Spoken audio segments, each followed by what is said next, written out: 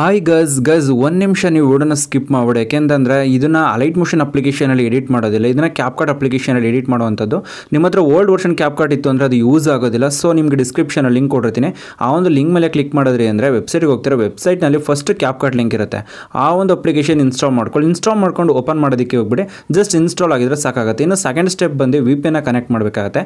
V P N ಕೂಡ second ಲಿಂಕಲ್ಲಿರುತ್ತೆ ವೆಬ್ಸೈಟ್ನಲ್ಲಿ ವಿ ಪಿ ಎನ್ನ ನೀವು ಇನ್ಸ್ಟಾಲ್ ಮಾಡಿಕೊಂಡು ಕನೆಕ್ಟ್ ಮಾಡಬೇಕಾಗತ್ತೆ.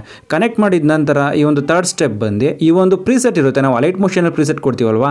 ಅದೇ ರೀತಿ ಕ್ಯಾಪ್ ಅಲ್ಲಿ ಕೂಡ ಪ್ರೀಸೆಟ್ ಇರುತ್ತೆ. ಆ ಪ್ರೀಸೆಟ್ ಲಿಂಕ್ ಕೂಡ ನಿಮಗೆ ವೆಬ್ಸೈಟ್ನಲ್ಲಿ ಇರುತ್ತೆ. ಅಲ್ಲ ಫೈನಲಲ್ಲಿ ಇರುತ್ತೆ ಲಿಂಕು ಆ ಒಂದು ಲಿಂಕ್ ಮೇಲೆ ಟ್ಯಾಪ್ ಮಾಡಿದ್ರೆ ಏನಾಗುತ್ತೆ ಅಂದರೆ ಕ್ಯಾಪ್ ಕಾರ್ಡ್ ಅಪ್ಲಿಕೇಶನ್ ಓಪನ್ ಆಗುತ್ತೆ. ಅದು ರೀತಿ ಅಂತ ನಿಮಗೆ ತಿಳಿಸ್ಕೊಡ್ತೀನಿ. ಇದು ಕ್ಯಾಪ್ ಕಾರ್ಡ್ ಇಂಟರ್ಫೇಸ್ ಈ ರೀತಿ ಇರುತ್ತೆ ಒಂದು ಅಪ್ಲಿಕೇಶನ್ದು ನೀವು ಇದನ್ನು ಓಪನ್ ಮಾಡೋದಕ್ಕೆ ಹೋಗ್ಬೇಡಿ. ನೆಕ್ಸ್ಟು ಸೆಕೆಂಡು ನಾವು ವಿ ಕನೆಕ್ಟ್ ಮಾಡಬೇಕಾಗತ್ತೆ. ಯಾವ ರೀತಿ ಅಂತಂದರೆ ನೀವು ಅಪ್ಲಿಕೇಶನ್ ಇನ್ಸ್ಟಾಲ್ ಮಾಡ್ಕೊಂಡು ಓಪನ್ ಮಾಡೋದ್ರಿಂದ ಈ ರೀತಿ ಇಂಟರ್ಫೇಸ್ ಇರುತ್ತೆ. ಇಲ್ಲಿ ಕನೆಕ್ಟ್ ಅಂತ ಕೇಳುತ್ತೆ. ಕನೆಕ್ಟ್ ಮೇಲೆ ನೀವು ಕ್ಲಿಕ್ ಮಾಡಬೇಕಾಗತ್ತೆ. ಕನೆಕ್ಟ್ ಮೇಲೆ ನೀವು ಕ್ಲಿಕ್ ಮಾಡಿದ್ರೆ ಟಾಪಲ್ಲಿ ನಿಮಗೆ ವಿ ಪಿ ಎನ್ ಅಂತ ನಿಮಗೆ ಶೋ ಆಗುತ್ತೆ ನೋಟಿಫಿಕೇಶನ್ ಬಾರ್ನಲ್ಲಿ ಅದು ಶೋ ಆಗಿದೆ ಅಂತ ಅಂದರೆ ವಿ ಪಿ ಎನ್ ರನ್ ಆಗ್ತಿದೆ ಅಂತ ಅರ್ಥ. ರನ್ ಆಗ್ತಿದೆ ಅಂದರೆ ಕ್ಯಾಪ್ ಕಟ್ ವರ್ಕ್ ಆಗುತ್ತೆ.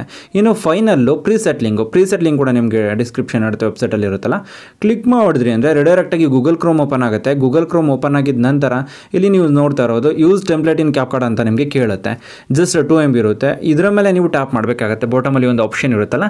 ಇಲ್ಲಿ ಟ್ಯಾಪ್ ಮಾಡಿದ್ರಿ ಅಂದರೆ ರಿಡೈರೆಕ್ಟಾಗಿ ನಮಗೆ ಅಲೈಟ್ ಮೋಷನ್ನು ಹೆಂಗೆ ಓಪನ್ ಆಗುತ್ತೋ ಪ್ರಿಸೆಟ್ಸ್ಗೆ ಅದೇ ರೀತಿ ನಮಗೆ ಈ ಒಂದು ಕ್ಯಾಪ್ ಕೂಡ ರಿಡೈರೆಕ್ಟಾಗಿ ಓಪನ್ ಆಗುತ್ತೆ. ಓಪನ್ ಆಗಿದ ನಂತರ ನೆಕ್ಸ್ಟು ಇಲ್ಲಿ ನಿಮಗೆ ಯೂಸ್ ಟೆಂಪ್ಲೇಟ್ ಅಂತ ರೈಟ್ ಸೈಡಲ್ಲಿ ಒಂದು ಆಪ್ಷನ್ ನಿಮಗೆ ಸಿಗುತ್ತೆ. ಯೂಸ್ ಟೆಂಪ್ಲೇಟ್ ಮೇಲೆ ನೀವು ಕ್ಲಿಕ್ ಮಾಡಬೇಕಾಗುತ್ತೆ. ಯೂಸ್ ಟೆಂಪ್ಲೇಟ್ ಮೇಲೆ ನೀವು ಕ್ಲಿಕ್ ಮಾಡಿದ್ರಿ ಅಂತಂದರೆ ನಿಮಗೆ ಫೋಟೋಸ್ಗಳನ್ನ ಸೆಲೆಕ್ಟ್ ಮಾಡ್ಕೊಳ್ಳೋದಕ್ಕೆ ಆಪ್ಷನ್ ನಿಮಗೆ ಸಿಗುತ್ತೆ. ಟ್ವೆಂಟಿ ನೈನ್ ಪಿಕ್ಚರ್ಸ್ಗಳನ್ನ ಆ್ಯಡ್ ಮಾಡ್ಕೊಬೋದು. ಇಲ್ಲಿ ಡಿಫಾಲ್ಟ್ ವಿಡಿಯೋ ಅಂತ ಸೆಲೆಕ್ಟ್ ಆಗಿರುತ್ತೆ. ನಿಮಗೆ ರೈಟ್ ಸೈಡ್ನಲ್ಲಿ ಫೋಟೋಸ್ ಅಂತ ಒಂದು ಆಪ್ಷನ್ ನಿಮಗೆ ಸಿಗುತ್ತೆ.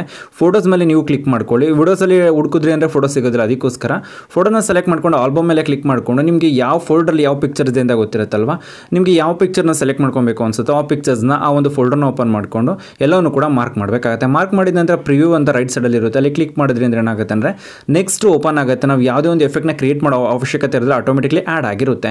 ನಿಮ್ಗೆ ಇಲ್ಲಿ ವಿಡಿಯೋ ಕೆಳಗಡೆ ಟೆಕ್ಸ್ಟ್ ಅಂತ ಒಂದು ಆಪ್ಷನ್ ನಿಮಗೆ ಸಿಗುತ್ತೆ. ಈ ಒಂದು ಟೆಕ್ಸ್ಟ್ ಮೇಲೆ ಕ್ಲಿಕ್ ಮಾಡ್ಕೊಬೇಕಾದ್ರೆ ಡಿಫಾಲ್ಟ್ ಏನೇನೋ ಬೇರೆ ಬೇರೆ ಇರುತ್ತೆ. ಇಲ್ಲಿ ಎಡಿಟ್ ಅಂತ ಇರುತ್ತಲ್ಲ ಎಡಿಟ್ ಮೇಲೆ ಕ್ಲಿಕ್ ಮಾಡಿಕೊಂಡು ಇರುವಂಥದ್ದನ್ನು ಕ್ಲಿಯರ್ ಮಾಡ್ಕೊಳ್ಳಿ. ನಿಮ್ಗೆ ಏನು ಥಾಟ್ ಇರುತ್ತೋ ಅದನ್ನು ನೀವು ಇಲ್ಲಿ ಟೈಪ್ ಮಾಡಬೇಕಾಗತ್ತೆ. ನಾನು ಬಾಸ್ ಅಂತ ನಾನು ಇಲ್ಲಿ ಟೈಪ್ ಮಾಡ್ಕೊಂಡಿದ್ದೀನಿ. ಟೈಪ್ ಮಾಡ್ಕೊಂಡ ನಂತರ ನೆಕ್ಸ್ಟ್ ಆಪ್ಷನ್ ಇರುತ್ತಲ್ಲ ಎಡಿಟ್ ಅಂತ. ಅಲ್ಲಿ ಕ್ಲಿಕ್ ಮಾಡ್ಕೊಬೇಕಾಗತ್ತೆ. By two thousand twenty one ಅಂತ ಇರುತ್ತೆ. ಇಲ್ಲಿ ನೀವು ಕ್ಲಿಯರ್ ಮಾಡಿಬಿಟ್ಟು ನಿಮ್ಗೆ ಏನು ಅನಿಸುತ್ತೋ ಅದನ್ನು ನೀವು ಟೈಪ್ ಮಾಡ್ಕೊಬೇಕಾಗತ್ತೆ. ಇಲ್ಲಿ ನಾನು ಏನು ಮಾಡ್ಕೊಂಡಿದ್ದೀನಿ ಅಂದರೆ ಕಿಂಗ್ ಆಲ್ವೇಸ್ ಕಿಂಗ್ ಅಂತ ನಾನು ಇಲ್ಲಿ ಟೈಪ್ ಮಾಡ್ಕೊಂಡಿದ್ದೀನಿ.